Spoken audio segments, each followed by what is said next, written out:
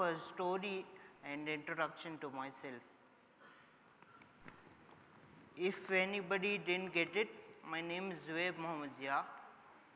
I am 25 years old and currently an assistant professor of zoology at a college called New College in Chennai. I have a rare neurological disorder termed as ataxia.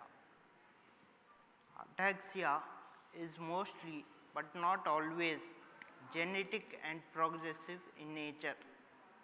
It causes incoordination of limbs, slurring of speech and affects eye movements too. Many would say all the classical symptoms of being drunk. Actually, many people think of me as being drunk all the time. So much so that actually not just me, anybody of anybody with ataxia is thought to be drunk. So much so that can I have a slide? Okay. So much so that an ataxia organization actually prints cards and pamphlets saying I am not drunk. I actually have a medical condition called ataxia because it's not apparent. Have any, any one of you heard of something called uh, invisible disability?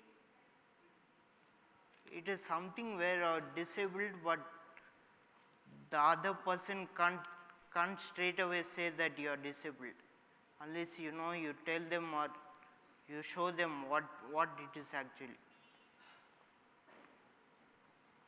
For me, this issue started when I was about 15 years old. I was in my 10th standard. So, before actually, actually I knew what it was, I had hidden it for some time thinking that it, might, it must not be that serious, it will just go away. But I was wrong. After some time it became very clear and apparent that there was something seriously wrong with me. At this point I was diagnosed as having ataxia and it was also you know casually just just like that it was mentioned that it is not curable. I was a boy at that time so you can think what I would have felt. Hearing this I was uh, devastated first of all but my family was devastated as well.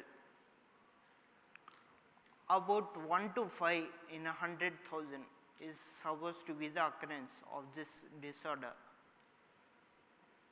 If you had bought the lottery, probably there'd be better chances. But here I am with ataxia instead. So when I was I was diagnosed, I closed myself off, tried to cut myself from my friends and my family so that I could hide it, no one would know. But I was wrong. I should have actually come out earlier that I have a problem, I need help. So after coming, coming out and asking for help, I got a lot of help and got through a lot of things. I went through my 11th and 12th standard with this disability, with an additional burden of this uh, disorder, what all it entails especially running around between doctors and hospitals added to the already pre-existing tension of studies, especially at this time, especially at 11th and 12th standard, you have serious pressure of studies on you.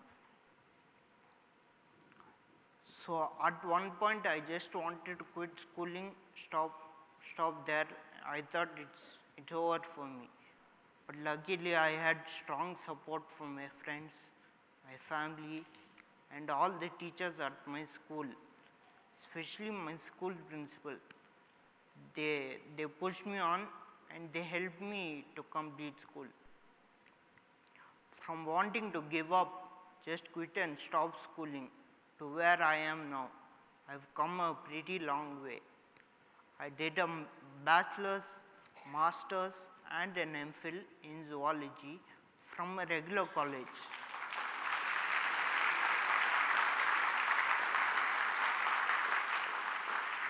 and also a BSc in psychology via correspondence.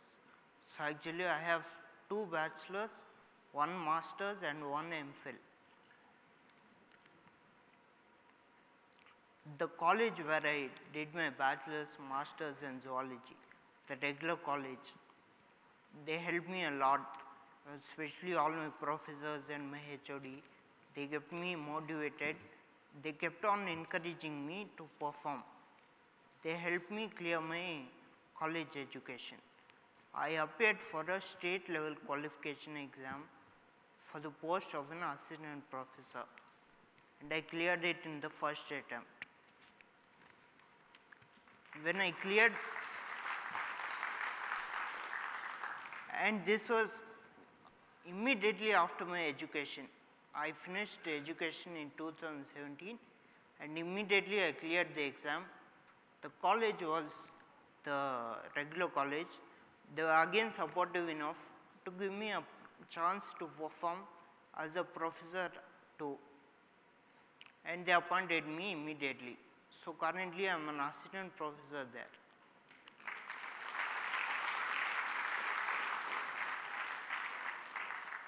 Frankly speaking, I have just begun my career. I have started like, I have just about wet my feet in the vast ocean of teaching and research as a career.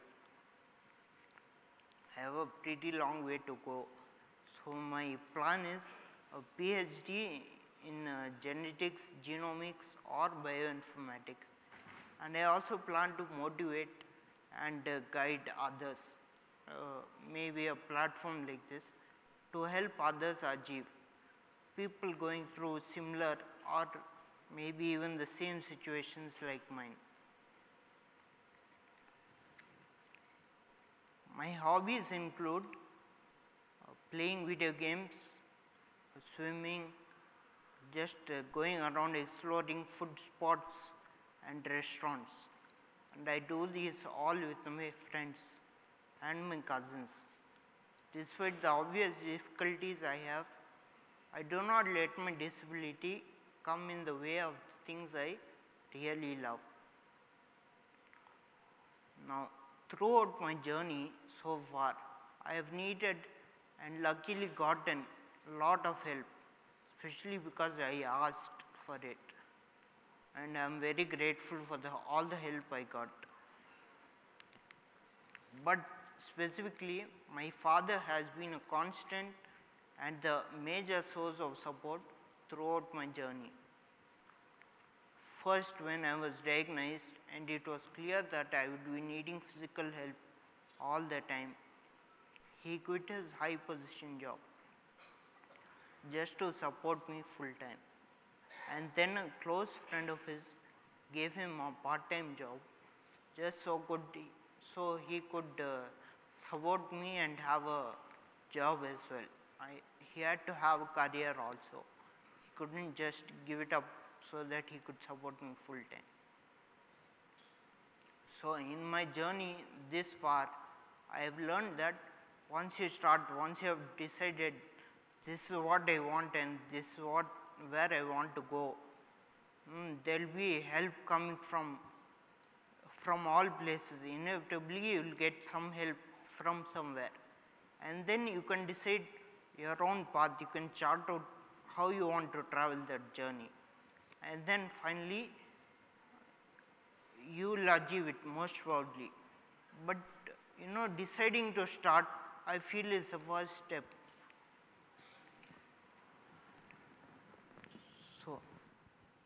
Uh, I think uh, this organization especially IIS is doing a wonderful job.